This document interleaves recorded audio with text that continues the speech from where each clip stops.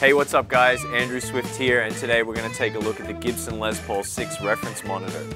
Les Paul was a pioneer not only of the solid body electric guitar, but also of multi-track recording.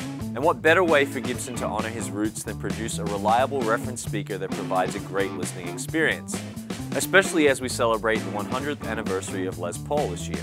Featuring a two-way biamp design, the Les Paul 6 reference monitor includes a 6-inch non-woven carbon woofer that offers tight bass, exceptional mid-range definition, and superb transient response.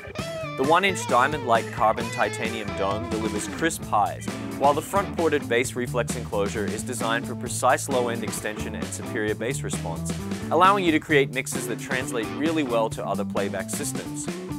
A high-powered amplifier gives ample headroom, allowing for transparent sound reproduction with extremely low distortion. And trim controls for high and low frequencies allow you to tweak the sound for your room or recording space.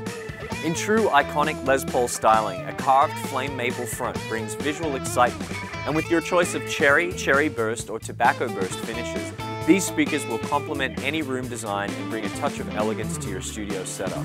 The Gibson Les Paul 6 reference monitor combines exceptional materials, custom-made amplification, and eye-catching looks in a premium two-way speaker design to give superior instrument definition, imaging, and transient response for accurate mixing and mastering of all musical genres.